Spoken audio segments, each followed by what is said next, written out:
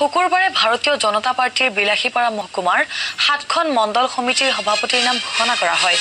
এই উপলক্ষে পূব ধুবুৰী জিলা ভাৰতীয় জনতা পাৰ্টীৰ বিলাসীপাৰাস্থিত কাৰ্যালয়ত মণ্ডল সভাপতিসকলে নামৰ তালিকা ঘোষণা কৰে।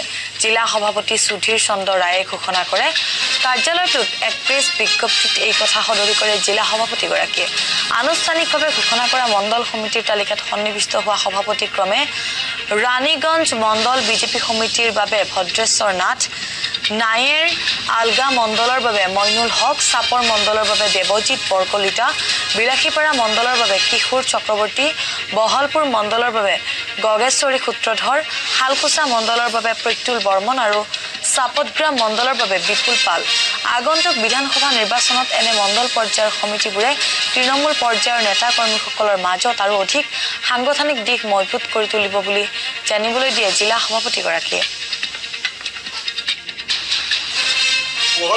আজি দলীয় নিৰ্দেশনা মতে ভাৰতীয় জনতা পাৰ্টী ধুবুৰী পূব জিলাৰ কাৰ্যালয়ত মণ্ডল সভাপতিৰ যিটো তালিকা আমি ঘোষণা কৰিলোঁ ইতিমধ্যে ৰাজ্যিক নেতৃত্বই আমাক তালিকা পঠাই এই তালিকা আমি নামমাত্ৰ ৰাজ্যিক নেতৃত্বৰ হৈ আমি প্ৰচাৰ কৰিলোঁ এইটোৱে আমাৰ মূল উদ্দেশ্য আছিল আজি।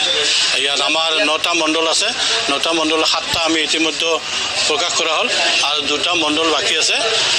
বিশেষ কাৰণত দুটা মণ্ডল স্থগিত ৰখা হৈছে। দুই এদিনতে সেই দুটা মণ্ডলো সম্পূৰ্ণ হ'ব। আমাৰতো একে উদ্দেশ্য আছে সেইটো যে আমি দুহেজাৰ একৈছ চনত আমি জিতিব লাগিব। ভাৰতীয় জনতা পাৰ্টি জিতিলেহে আমাৰ কাম কৰাৰ সুবিধা হ'ব। হাৰি থাকিলে আমাৰ অসুবিধা আছে। গতিকে আমাৰ টাৰ্গেট টাউন কমিটিৰ পৰা আৰম্ভ কৰি দুহেজাৰ একৈছ চনৰ যিটো নিৰ্বাচন এই নিৰ্বাচনত আমি জয়ী হ'বই লাগিব। ক'ব পাৰি যে দুহেজাৰ একৈছ চনৰ যে আগন্তুক যে নিৰ্বাচন আছে তাৰে পূৰ্ব প্ৰস্তুতি আজিৰ পৰা আৰম্ভ কৰিলা। মই আগতে কৈছোঁ আজিৰ পৰা আৰম্ভ হৈছে। অকল দুহেজাৰ একৈছ চন বুলি নহয় আমি চিৰদিন ভাৰতীয় ভাৰত মাতৃ সেৱা কৰিব বিচাৰিছোঁ ভাৰতীয় জনতা পাৰ্টীৰ জৰিয়তে। সেইটোৱে আমাৰ মূল উদ্দেশ্য।